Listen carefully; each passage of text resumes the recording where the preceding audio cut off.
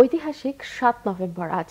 অস্থির এক রাজনৈতিক ও সামরিক পরিস্থিতিতে উনিশশো পঁচাত্তর সালের এই দিনে সিপাহী জনতার বিপ্লবের মধ্য দিয়ে ক্ষমতার কেন্দ্রবিন্দুতে চলে আসেন তৎকালীন সেনাপ্রধান জিয়াউর রহমান।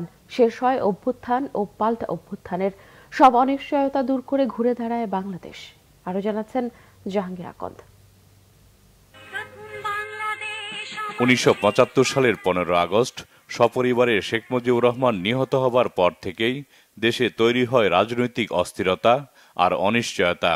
রাজনৈতিক পালাবদলের পর নভেম্বরের প্রথম সপ্তাহ পর্যন্ত রাষ্ট্র পরিচালনায় তৈরি হয় বিশৃঙ্খলা, আর সেনাবাহিনীতেও শুরু হয় অস্থিরতা। এরই ধারাবাহিকতায় সেনাবাহিনীর ভেতরে চলতে থাকে একের পর এক অভ্যুত্থান, পাল্টা অভ্যুত্থান। এসব ঘটনার এক পর্যায়ে গৃহবন্দী হন তৎকালীন সেনাপ্রধান মেজর জেনারেল জিয়াউর রহমান। সাত নভেম্বর সিপাহী জনতার অভ্যুত্থানে বন্দি দশা থেকে মুক্ত হন সেনাপ্রধান জিয়াউর রহমান। নিহত হন brigadier Khaled Mosharraf, colonel ATM Haider সহ কয়েকজন মুক্তিযোদ্ধা সেনা কর্মকর্তা। এই ঘটনার পরপরই স্বাধীনতার ঘোষণা দেয়া এবং মুক্তিযুদ্ধে অসামান্য অবদানের জন্য বীরোত্তম খেতাব পাওয়া এই সেক্টর কমান্ডার ও জেড ফোর্স প্রধান গ্রহণ করেন দেশের দায়িত্বভার। সাতই নভেম্বর উনার আসার মূল কারণটা হচ্ছে তিনি স্বাধীনতা ঘোষণা করেছেন। এটা হলো সবচেয়ে বড় একটা জিনিস, সমগ্র জাতি তাকে চিনত। এবং সশস্ত্র বাহিনী তাকে আলাদাভাবে সম্মান করত। ওই সময় আর্মিতে যারাই ছিল, তিনি ছিলেন সবচেয়ে যোগ্য ব্যক্তি। তার প্রতি কোনো কেউ দয়া করে নাই। যোগ্য ব্যক্তি হিসাবে যোগ্য জায়গায় তাকে পদায়ন করা হয়েছিল।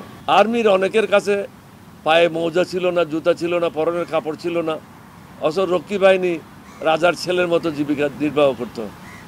তারা অনেক জায়গায় আর্মি অফিসারদেরকে ধরে ফিজিক্যালি টর্চারও করেছে। এই সমস্ত কারণে আর্মির মধ্যে একটা অসন্তোষ ছিল। যার কারণে সাত নভেম্বর সংগঠিত হয়েছিল। জিয়াউর রহমান এমন একজন ব্যক্তি ছিলেন, তার কোনো পদের কোনো লোভ ছিল না।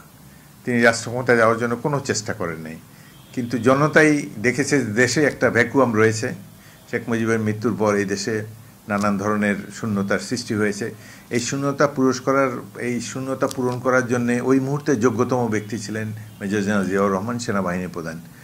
অল্প সময়ই সেনাবাহিনীতে শৃঙ্খলা ফিরিয়ে আনতে সক্ষম হন জিয়াউর রহমান। তার হাত ধরেই গণতন্ত্রের নবযাত্রা শুরু হয় বাংলাদেশে। পুনঃপ্রবর্তন করেন বহুদলীয় গণতন্ত্র। তার উনিশ দফা কর্মসূচিতে স্বাবলম্বী হতে শুরু করে দেশ গতি পায় অর্থনীতি, আন্তর্জাতিক বলয়ে বাড়তে থাকে বাংলাদেশের বন্ধুর সংখ্যা। তখন প্রয়োজন ছিল একজন দেশের জনগণের কাছে গ্রহণযোগ্য এবং যার ভাবমূর্তি আছে এবং পরিষ্কার, পরিচ্ছন্ন ইমেজ আছে। দুর্নীতির সাথে কোনো জড়িত না এবং উপযুক্ত ব্যক্তি। সেটাই ছিল তখন জিয়াউর রহমান। স্বাভাবিক কারণেই তিনি সকলের সম্মুখে চলে আসলেন।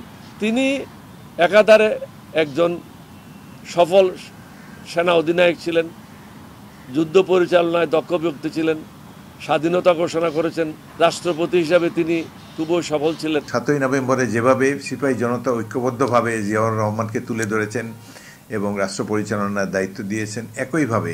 এখন আবার সময় এসেছে। সাধারণ সৈনিক, রাজনীতিক প্রফেশনাল সব শ্রেণি পেশার লোকেরা ঐক্যবদ্ধভাবে এই দুর্দিনে বিদেশি আগ্রাসনকে মোকাবেলা করে একটি সুন্দর বাংলাদেশ গড়ে তোলার জন্য আত্মনিয়োগ করতে হবে। সাত নভেম্বরের সঠিক ইতিহাস জাতির সামনে তুলে ধরতে এবং নতুন প্রজন্মকে জানাতে আহ্বান জানান দুই সাবেক সেনা কর্মকর্তা।